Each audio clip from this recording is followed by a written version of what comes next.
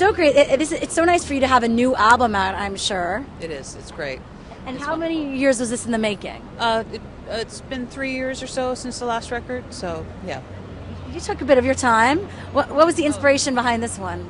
Well, I, I have to say, I've always taken my time between records, and you got to sort of have a life in order to write about it. So, um, the inspiration between uh, behind this record, um, a lot of different things. Um, I, I, I fought. I had an illness about three years ago that was fairly serious, and um, from that, there's a lot of, I think, uh, songs that kind of address that, um, and just the times we're living in. You know, um, songs about love and connection and.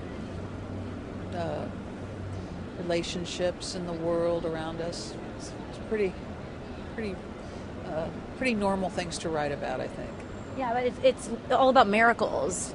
So it's uh, it's called, the miracles is the The age of the age of miracles. Um, so obviously that resonates for you and what you've been through as well.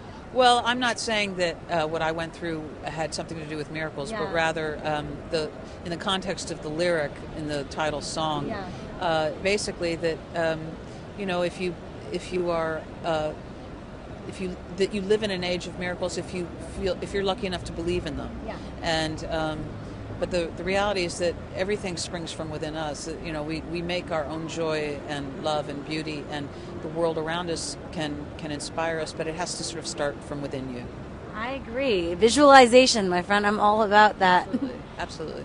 Do you think country music has really had a, a resurrection of sorts in the past year or so with Taylor people like Taylor Swift, young country artists coming out? Uh, Do you think that?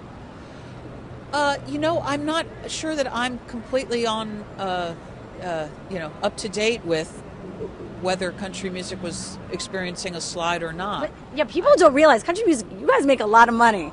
There's, you, I mean, there's a lot. Country music has a huge following.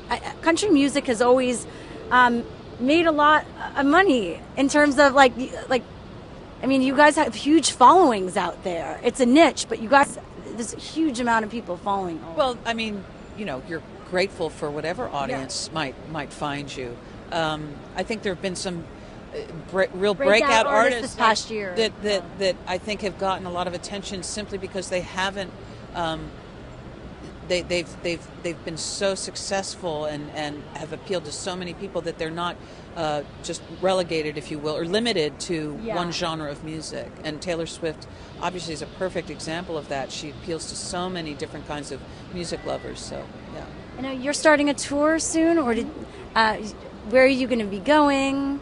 Uh, we're going all over the United States, um, and hopefully we'll be going to uh, the UK in the fall and um, going back to lots of venues that we love and look forward to vi- revisiting. And playing in the summer is, is particularly special because you're outside a lot and it just feels very festive, and um, I, I can't wait.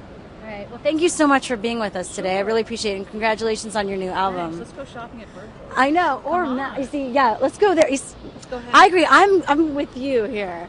Or Mac. go. Or the geeks would say, let's go to Apple. We have the two choices. I'd like to go to Apple too. I'd be happy to go there. All right.